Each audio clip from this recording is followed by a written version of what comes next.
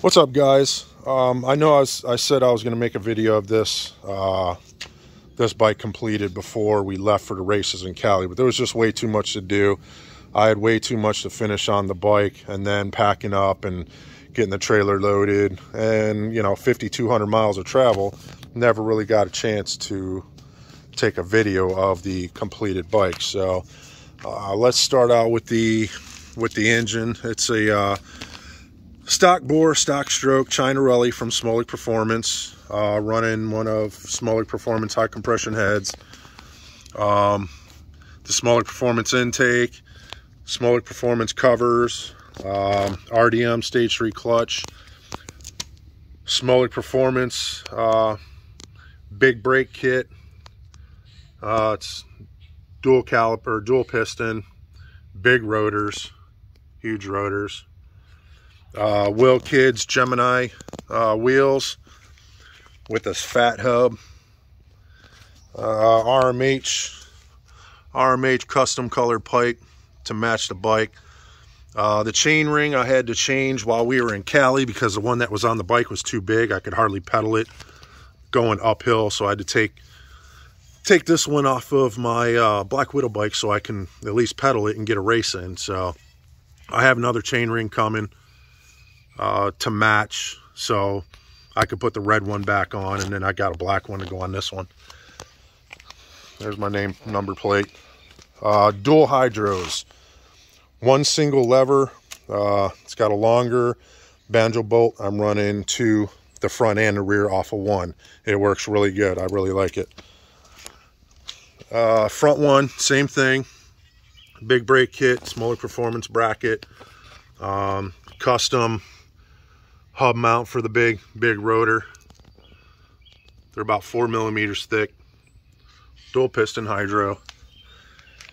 Michelin tires, super sticky, super sticky tires. I'm happy with them. They work really well at the track. There's the RDM clutch cover. I mean, uh, clutch, clutch arm. And I'm running the RDM um, bearing bucking bar. There's Smolik Performance covers. And originally I was running a an NT carb so I can run in beginner class. It worked okay. Way too small for this engine. Uh, just for shits and giggles, I put on this OKO and this thing screams. It's 10, 1044 gearing, 43 miles per hour, just over 10K. So you know, it, it, moves pretty good. And it's not even really tuned. I just threw it on, so it works really good.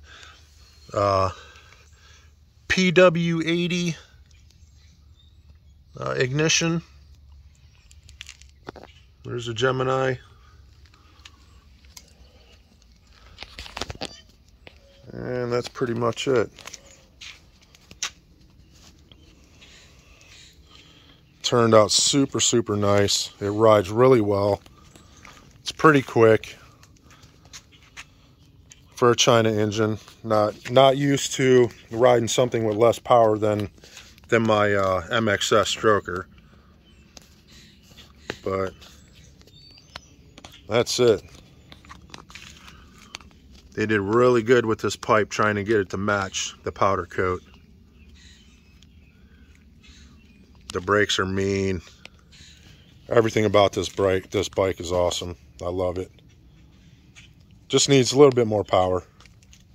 But for now, this will this will do me. Uh, I'll run this in the expert class, I guess. Uh, we have a race coming up in the end of May. Um, Mid-state kart track in Illinois.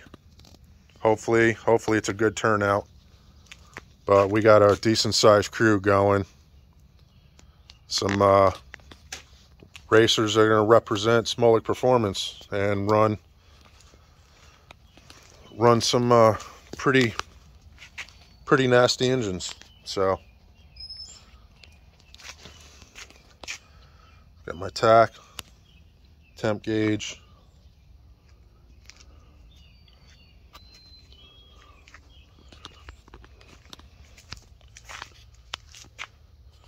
And that's it. All right, later.